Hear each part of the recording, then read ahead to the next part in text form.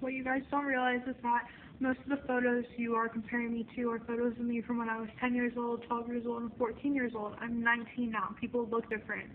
Lips can really change someone, apparently. I mean, look at Kylie Jenner. She looks like a completely different person, and she says all she's had done is her lips, and same with me. Do you really not have better articles to write than about a 19-year-old who's had all this plastic surgery done?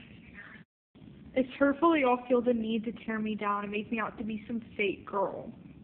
I was honest about my lips, which took a lot of courage for me to do, and I'm being honest now. I'm sorry I don't look like I did when I was 15, but everyone grows up, which you all need to do.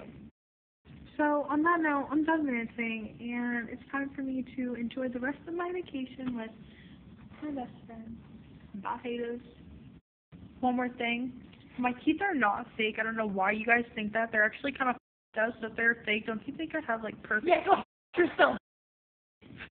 I never I never got my mother nose done. Holy. I'm so flattered that you guys think that I have all this liposuction and my done and my nose done to be pretty. I mean, it's just genetics. I could sit here and go back and forth to people all night, and I'm kind of liking it. It's kind of funny. Like, it's entertaining to read all your comments.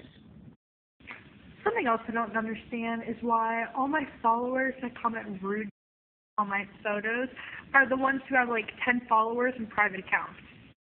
I'm just saying, if you feel the need to comment the horrible things you comment on a 19-year-old's photos, shouldn't you be able to do it from your real account, you cowards?